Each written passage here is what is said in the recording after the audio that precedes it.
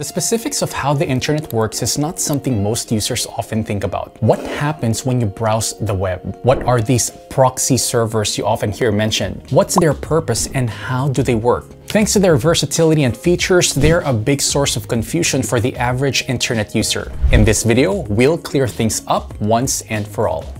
A proxy server is basically a gateway between your online device and the internet. You can think of it as a personal assistant.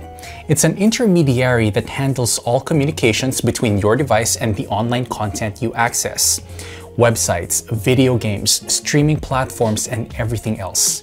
Different proxy servers provide different types of functionality and levels of privacy depending on your needs and use case. When you use a proxy server and send a request to a specific online server, this traffic goes to the proxy first. The proxy alters your request by replacing your IP address and other identifiable data with its own before sending it to the destination. Once you get a response, it first goes to the proxy server, which then forwards it to your device. To put it short, a proxy server ensures there's no direct communication between your device and the rest of the internet. In other words, your real IP address, your location, and other sensitive information stays protected because a proxy server replaces this information with its own. Now, you might wonder why even bother using a proxy if that's all it does? Well, modern proxies can do so much more than just forwarding your web requests. Here are the key reasons you should use a proxy server. Improved privacy. Individual users and businesses alike often use proxies to browse the internet anonymously. A proxy replaces your IP address and other identifiable data in each request, so the online servers you communicate with don't know where these requests come from. This way, proxy servers keep your personal information and browsing history private and impossible to track. Improved security. On top of privacy, proxies also offer security benefits by acting as a firewall between your network and the internet.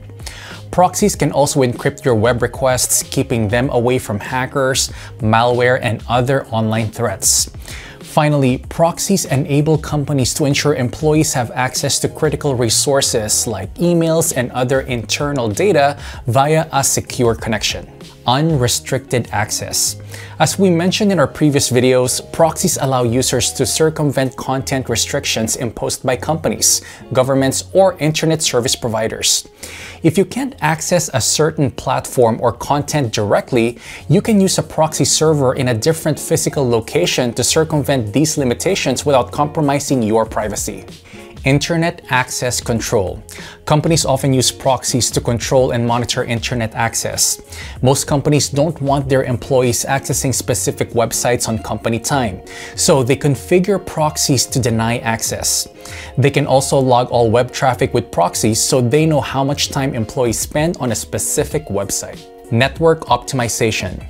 Certain types of proxies allow businesses to get better overall network performance.